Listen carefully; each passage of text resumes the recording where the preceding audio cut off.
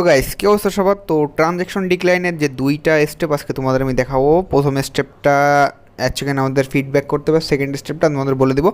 তোমরা শুধু ভিডিওটা কন্টিনিউ করে থাকো, এক মুহূর্তে স্কিপ করব না। পরে কিছু যদি না হয়, তখন আমাকে বলব না। তো তোমরা এটা করে দেখতে পারো, হয় কি না আর যে সেকেন্ড স্টেপটা আছে, ওইটা করলে তোমাদের হবেই। তোমাদের ফার্স্ট স্টেপটে স্টেপটা একটু ইজি তোমরা এখান থেকে, দেখো আমার এই জিমেইলটাই আমার একশো ডলার মানে সরি এক ডলারের গেইনা ফ্রি ফায়ার কুপনটা আছে, তো আমি এখন এই জিমেইলে আমি ট্রানজ্যাকশন ফেল দেখাচ্ছে আমারও। তো এখন তোমরা কি করবা ট্যাক্স ট্যাক্স রিমুভ করার পরে যদি এটা দেখায়, তখন হেল্প অ্যান্ড ফিডব্যাকে যে এখানে কন্ট্যাক্ট আছে ক্লিক করবা, ঠিক আছে? কন্ট্যাক্ট আছে ক্লিক করার পর এখানে তোমাদের যে এইটা সার্চ দিবা, যে তোমাদের যে ডায়মন্ড টপ করার সময় যেটা দেখাচ্ছে, যেমন আমি এখানে দিচ্ছি ট্রানজ্যাকশন ডিক্লাইন্ড এটা লিখে এখানে তোমরা সার্চ করবা, তারপরে দেখবা এখান থেকে অটোমেটিক একটা জিনিস চলে আসবে। ওটা চলে আসার পরে ওটার উপরে ক্লিক করে দিবা। ক্লিক করে দেবে তোমার অন্য একটা পেজ নেবে। দেখো আমি যেমনভাবে করতেছি, তো আমি এখানে ট্রানজ্যাকশন ডিক্লাইনটা একটু ভালো করে লিখে নিই। তো আমি এখানে সার্চ করলাম, দেখো এখানে পারচেস ফেল চলে আসছে। আমাদের কিন্তু পারচেস করতে যেয়ে ফেল হচ্ছে। তারপরে ক্লিক করে দিলাম ক্লিক করে দেওয়ার পরে এখানে গুগল প্লে অ্যাপসে সিলেক্ট করে দেবা, কারণ আমাদের ফ্রি ফায়ারটা কিন্তু গুগল প্লের একটা অ্যাপস আর এখানে আমাদের এবার নেক্সট স্টেপে ক্লিক করব। নেক্সট স্টেপে ক্লিক করার পরে এখানে, দেখো আমি আগে নেক্সট স্টেপে একটু ক্লিক করে দিই। আর এখানে আমাদের, দেখো সাব চলে আসছে automatically problem with a app purchase তো তোমরা এখান থেকেও নেক্সট স্টেপে ক্লিক করে দিবা। নেক্সট স্টেপে ক্লিক করার পরে এখান থেকে তোমরা দুইটা অপশান পাবো, একটা হচ্ছে লাইভ চ্যাট করার জন্য তাদের সাথে এবং তাদের ইমেল সেন্ড করার জন্য।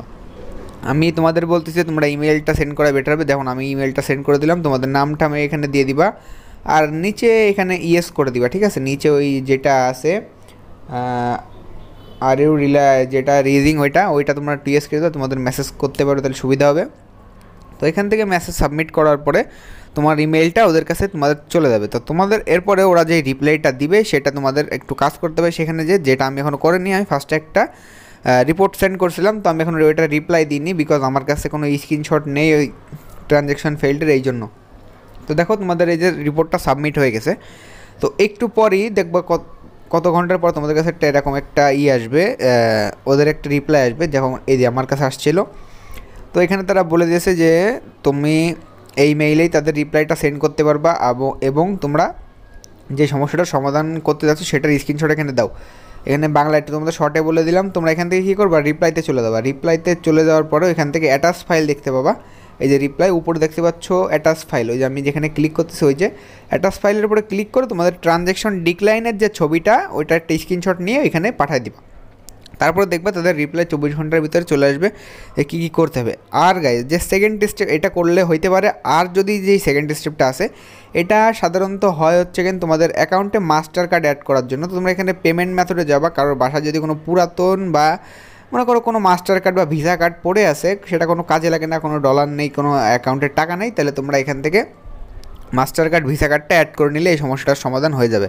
তো মেন সমস্যাটা আমাদের মাস্টার কার্ড অ্যাড করার জন্যই হয়, তো এখন ফার্স্ট অফ অল তোমরা ফিডব্যাকেরটা দিয়ে দেখবা যে ফিডব্যাকে কোনো কাজ হয় কি না তারপরে তোমরা আবার কী করো তারপরে তোমরা মাস্টার কার্ডটা যদি কারোর থেকে থেকে তাহলে অ্যাড করে নিবা।